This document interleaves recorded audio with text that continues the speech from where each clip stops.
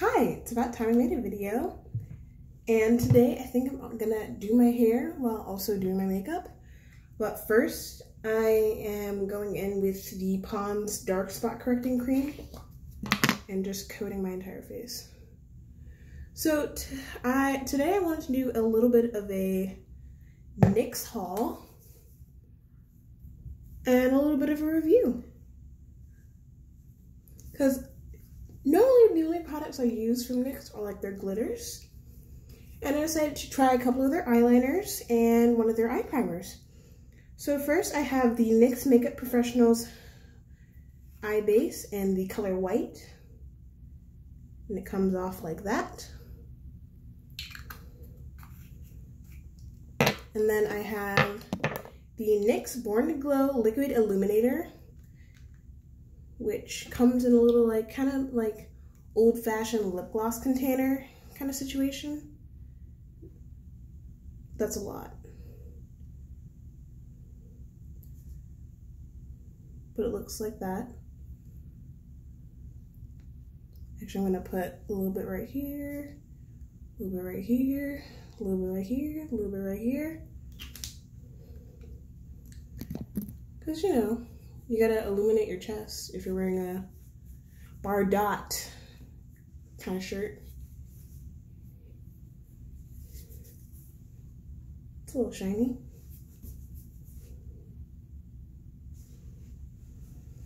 And then I also got the NYX Makeup Professionals Epic Black Mousse Liner. And that swatches off like that. And it's also way smaller than I thought it was going to be.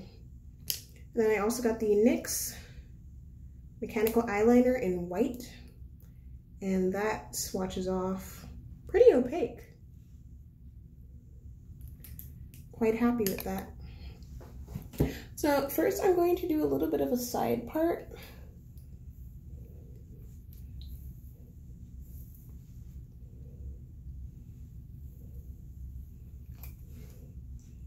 And then I'm not gonna bring that all the way back because it's all gonna go into one. Then I'm gonna go in with the Cantu Argan Oil Leave-In Conditioner Repair Cream. Taking a little bit of that, rubbing it on. Well, we just had a minor to severe catastrophe. It kind of spilled all over the floor. It's fine, everything's fine. I'm gonna be trying something new today. I'm putting, I'm really focusing this on the fronts of my hair because I want to do kind of like that little swoop over the head kind of thing. Kind of like where it comes down like that. You know what I mean? And so I applied a little bit of the Argan Oil Edge Control.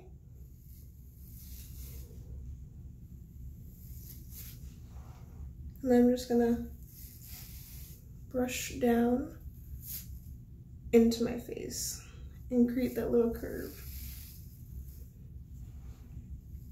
I'm pretty sure if my hair was shorter, I could do this.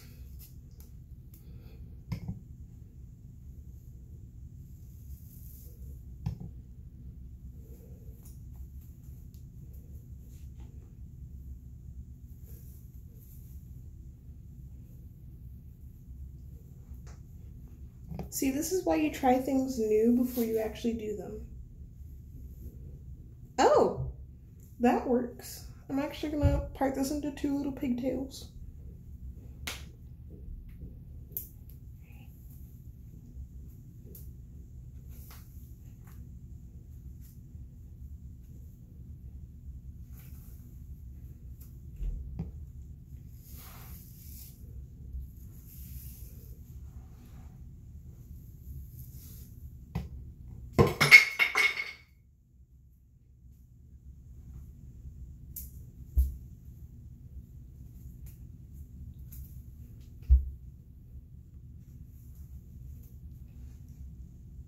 That's cute.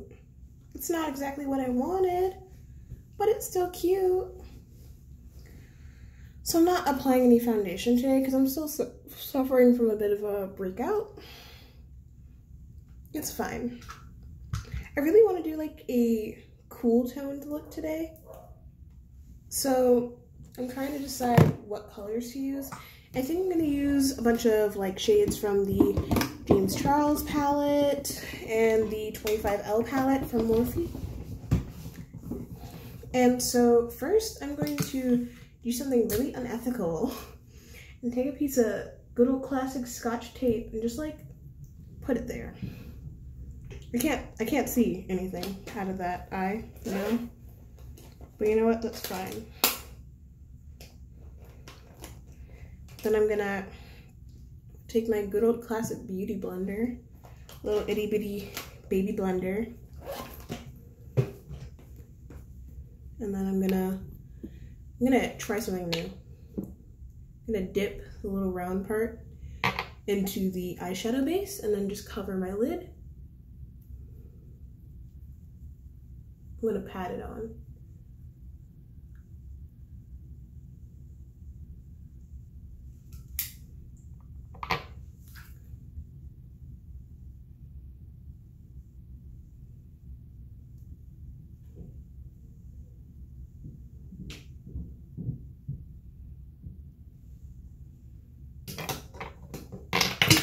Flashback Mary Who? Sister James Where? So first I'm going to go in with Social Blade from the James Charles palette on my Firma 202 brush. And then I'm just going to pat that all over my crease and lid. Mostly in the crease though, of the inner part of my eye.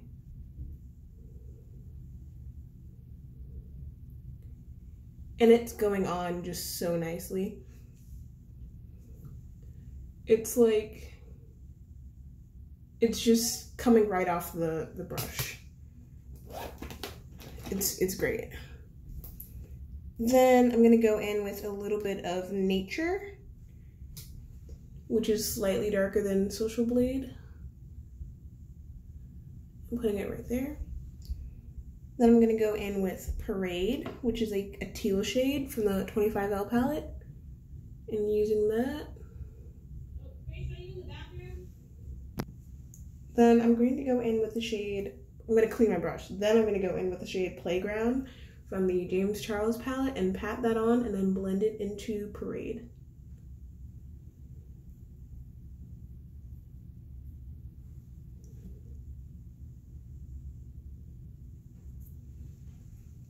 Then I'm going to go in with a little bit of cola, just a tiny bit, to give a cooler, not cooler, a warmer blue. And I'm gonna go in with Escape from the James Charles palette to finish that off and blend it into cola. And I'm bringing this basically up to my eyebrow.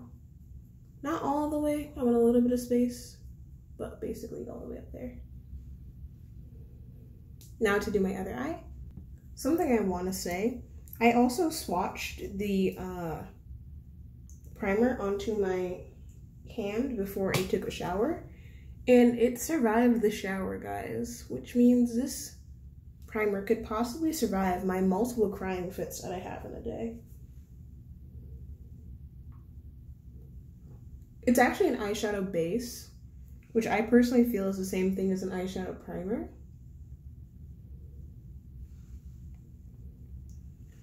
And it was actually quite affordable and I quite enjoy it so far. Let's hope it passes the crease test because that was my problem with the Kat Von D whiteout concealer. It did not pass my crease test. And I don't know if that's because I have really oily lids or what, because I do have really oily lids. There are certain parts of my face that actually get oily. This part of my nose, my eyelids, and my forehead are the only parts of my face that get oily. Everything else is extremely dry. So it's really hard for me to like moisturize in all the right places, you know what I mean? Because you can't desiccate your eyelids. That would be really bad for your skin, you know what I mean? So I just always put eyeshadow on, even if I'm not like, even if I'm just like staying around the house, you know what I mean? And I'm just going back in with all the shades I used before and blending them in. I love the little like ring that it does. Ooh, this is a very carnival-y look. Now, I'm trying to decide to use the shade Milk or Flashback. I think since it's such a white look, I think I'm gonna go with Flashback. So I'm gonna use a small concealer brush to cut my crease, and I'm just gonna dip it gently. Oh, that's soft. That primer is soft. That base is, is soft. It's not a primer, it's a base. And I'm gonna cut my crease just above my natural lid shape.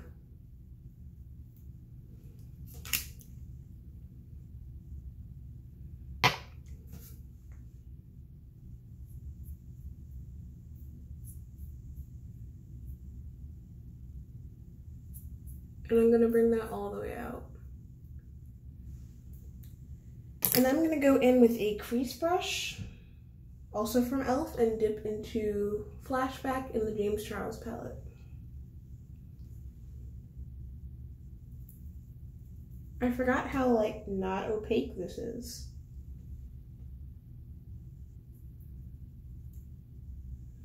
I honestly thought the white primer would show up a lot more opaque on my eyelid.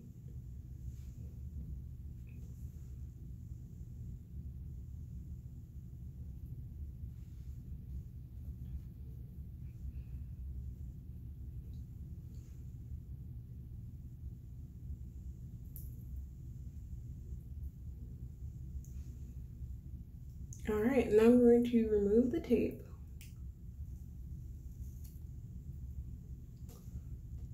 That's pretty crisp.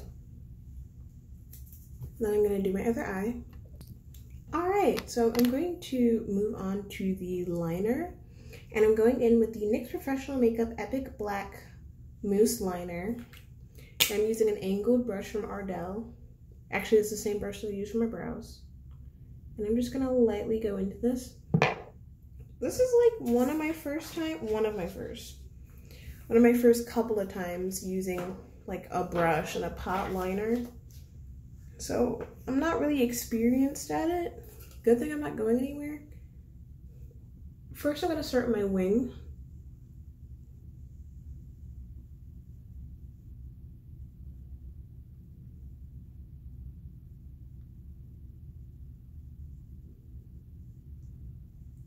That was the easiest wing I've ever done in my life.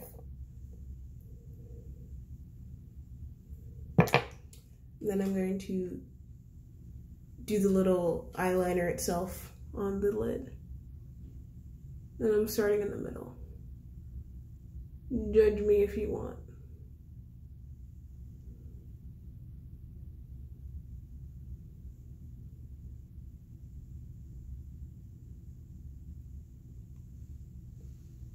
Oh, that's nice. I like it. Now moving on to my other eye. And my hair is just deciding, let's just like come up.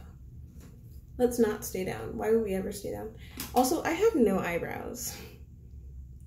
You can only see this because there's still product in it, but like, these are all the eyebrows I have. Actually, I have even less than that because there's still product in that.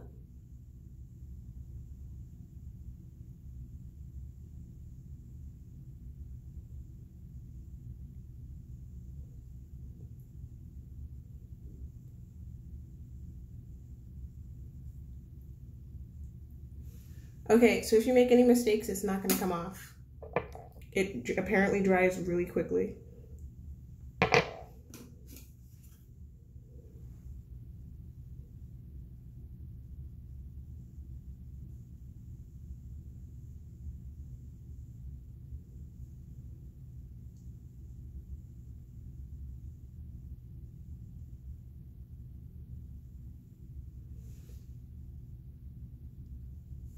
That's nice. I like it.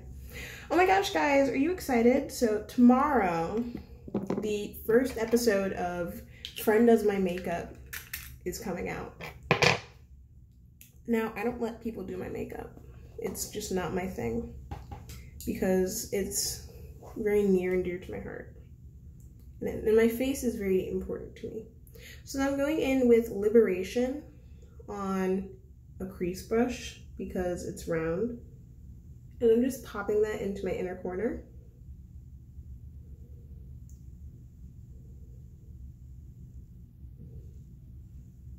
It's a nice like iridescent green. And then for my lower lash line, I think I'm to go in with a little bit of Truth from the Morphe 25L palette. And since it's nice, such a nice dark color, I'm not to bother priming under my eyes.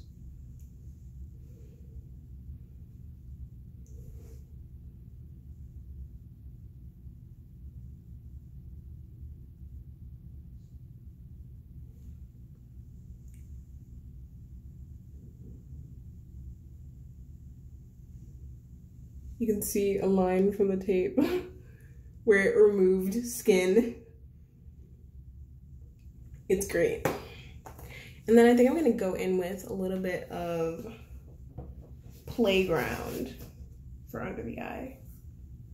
And then I'm using a smudger brush. I'm using a shader brush from Slim Glam. Slim Glam.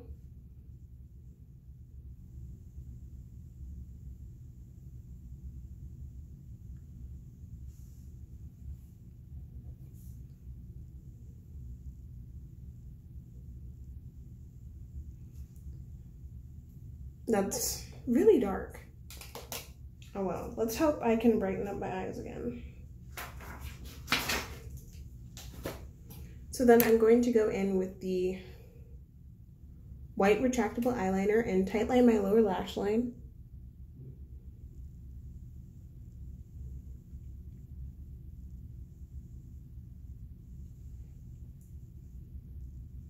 This is reminding me of that one James Charles look that he did where he had like the red, yellow, orange on the side, and then like these colors, and you did like white.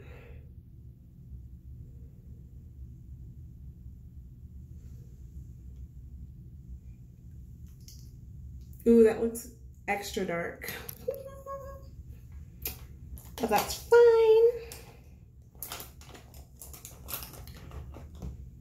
So now I'm going to use that same Ardell brush I'm gonna clean it, of course, but I'm gonna use the same Ardell brush and the Ardell Dark Brown Brow Pomade to do my brows. I really want a, like, fluffy brow.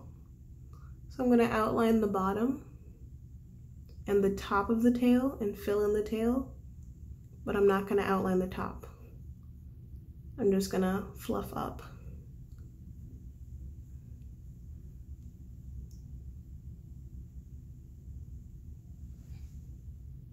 That's big. But you know what? I'm not against it.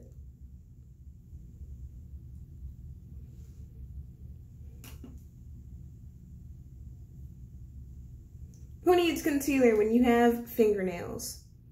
Also, I ripped off half my nail at work. It was great.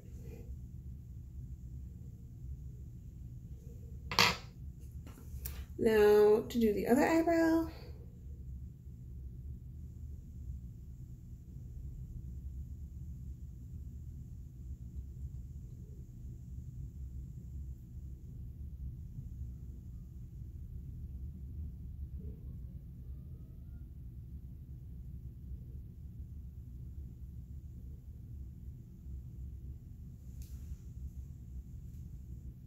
That one's even thicker.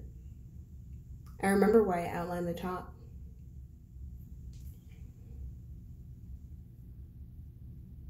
So I don't go crazy. Oh my gosh, remember in like the 2000s when you did like the pencil thin brows? Oof. and I just like have that one line in the middle of my eyebrow. My makeup's been weird. So I think I'm going to go in with the Born to Glow. And I don't remember what shade I got. What shade did I get? Shade number two, Gleam. And I'm just going to dot it. Yeah, dot it on. And then blend it out with a wet sponge. And see what happens if it would blend. Is it just me or does it look like there's nothing there? That's because it it looks like there's nothing there. Let's just squirt out a little bit more.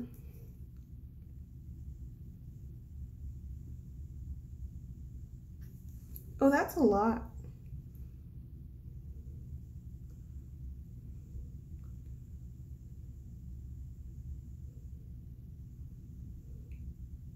Oh, that's better. And then put a little on the jawline, a little bit on the chin. That's a lot better. And I'm gonna dot some over on this side. Camera focus.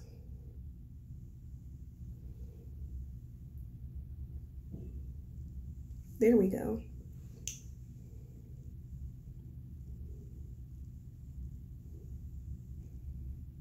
It does not want to blend out. I'm a little disappointed. It does not want to blend out. I'm very upset. I'm gonna put a little on the forehead and a little bit more on the chin in the jawline. It doesn't want to blend out. I'm pretty frustrated. I wonder how I would apply it with my fingers. Or you know what, I'll go in with a concealer brush to do under my brows. Get a little bit on there.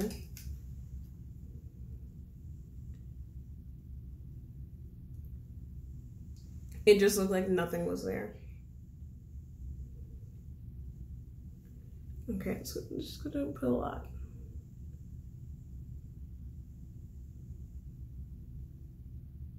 Okay, that's a little bit better. You can't really see it on camera, but in real life it looks better. Actually, you can see it now.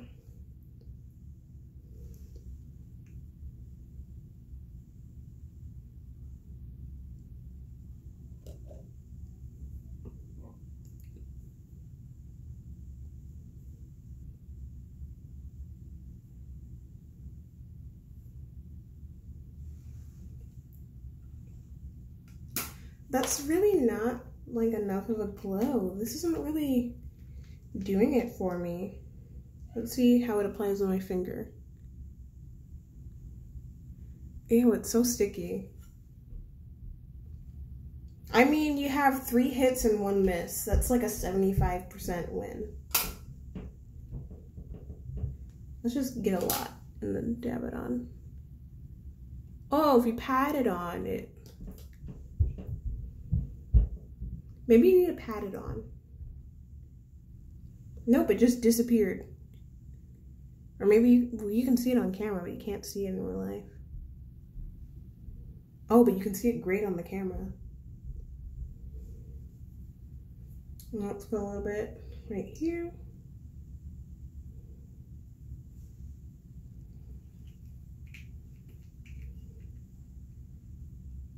I don't know. I don't know. I think I'll. It's it's still sticky. You see that? It's. I just dropped it. It's really disappointing. I'm kind of upset because I had such high hopes. I had such high hopes. It doesn't have like glycerin or anything in it. So I'm a little confused as to why it's so sticky. I'm gonna try and highlight my forehead a little bit more with whatever is left on the sponge. It's not, it's not doing it. It's not. I don't know if this look needs a little bit of blush to complete it. Or like what? But I don't know about you, but like I'm feeling the eyes. I just wish that it was more white. You know? Now I'm going in with the tinted uh, lip oil from W7. And then just coating my lips because I love this stuff.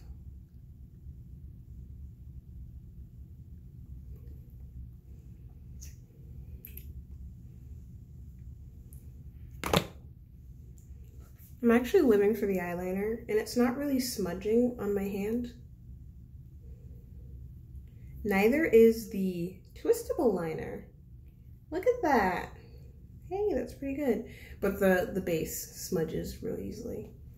And the uh, illuminator that I patted on is just wisping away. It's not even, not even there anymore. It's like it never existed. So these are definitely getting added to the daily. This is getting added to the daily. This is basura. That is garbage. And I think that's a complete look for today. Didn't take me too long to do it. I'm gonna see if like I can like get this to cooperate better with like my little boar hair brush. It's not doing it, but that's fine. Maybe if like, I don't know, maybe if I like pat on milk over this. Oh, okay. That's, that's a catastrophe. Why did I do that?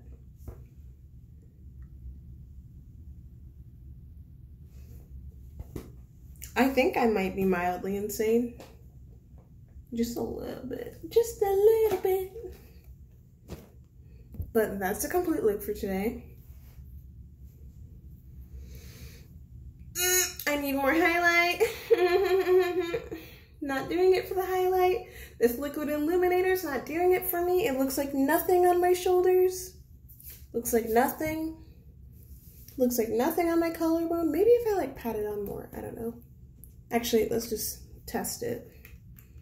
Pat on a little bit more. If I just pat it on my finger and then just rub it in with the finger, just back and forth.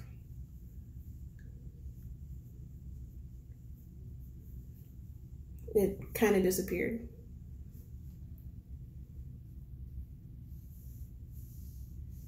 Well, wait, wait, wait.